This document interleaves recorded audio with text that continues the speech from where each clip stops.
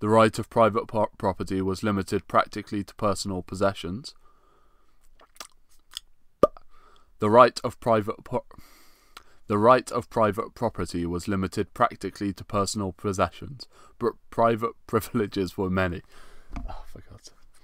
The right of private property was limited practically to personal possessions, but private privileges were many and sacredly regarded.